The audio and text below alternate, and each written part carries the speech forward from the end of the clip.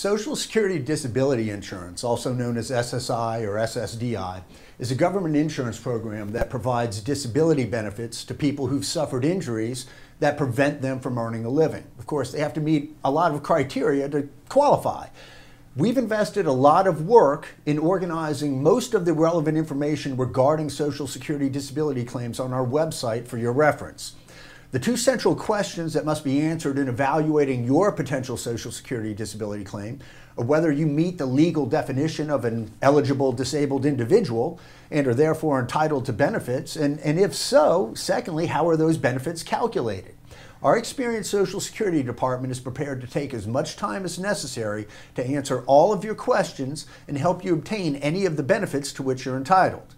Please know that a large portion of our Social Security disability clients have already been denied their Social Security disability benefits at least once, and they're relying on us to help them appeal initial unfavorable determinations by the Social Security Administration.